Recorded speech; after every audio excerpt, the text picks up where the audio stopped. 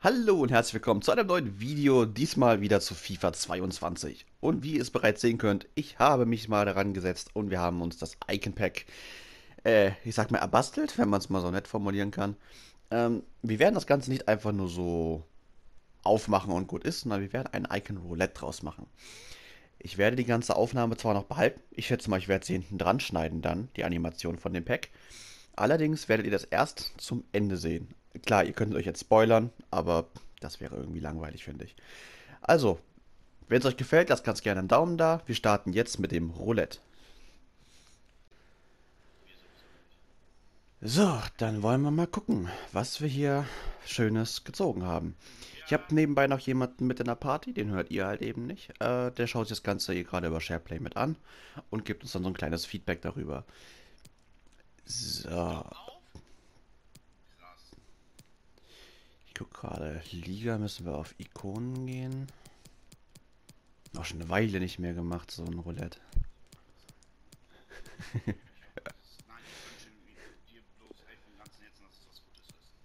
so, wir fangen an mit Wales. Da wären Gigs und Rush verfügbar, genau.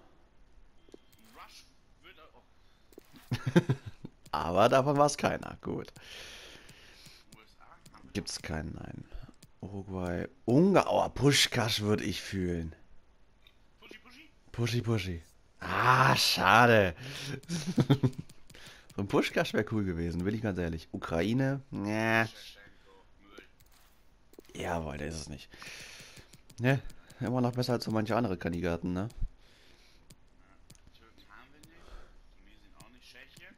Könnte es Netwert oder Tschech werden, ja. Netwert ist gut. Uns beide nicht. Netwert hätte ich aber gegönnt. Mein Netwert gefällt mir extrem. Okay, damit sind wir wohl durch. Jetzt kommen wir zu S. Spanien. Top-Nation ist das ja genau. Serbien könnte Vidic sein. Ja. Ah, hätte ich gar nicht schlecht gefunden, Vidic. Schweden. Oh, das wäre mies, ja. Ah, sehr schön, dass er es nicht ist. Schottland, Douglas. Das wäre halt schon schön gewesen, ne? Russland, die Mütze. Die Mütze ist es nicht. Beziehungsweise, es wäre ja nicht die Mütze. Die Mütze hat ja nur in einer höheren Version. Rumänien, Haji, Gesundheit. Ja, Roy Keane. Nicht Robbie Keane, das kann man schnell mal verwechseln. Der ist es auch nicht. Portugals Top-Nation. Ja, Lewandowski hat noch keine Ikone.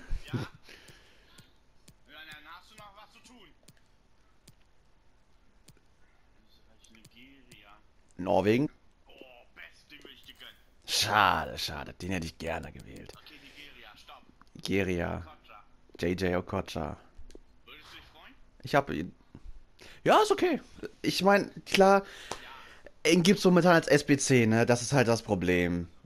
Das wäre, er wäre deutlich günstiger, wenn man jetzt SBC gecraftet hätte. 5-4. Ähm, aber was ich gut finde bei Okocha, er ist eine RM-Karte. Und ich persönlich spiele ja eigentlich so gut wie gar keine RM, weil ich spiele ja keine Flügelformation. Ihn könnte man halt eben auf der 10 spielen. Und ich könnte dann einen LM hinstellen, der ein guter Achter wäre. Und ich denke da zum Beispiel so ein bisschen liebäugeln an so einen Schweinsteiger als Beispiel halt eben. Und damit wäre halt auch das Flügelproblem so ein bisschen gelöst. Wenn ich einen Flügel spielen will, der gut ist, könnte ich ihn auf den anderen stellen.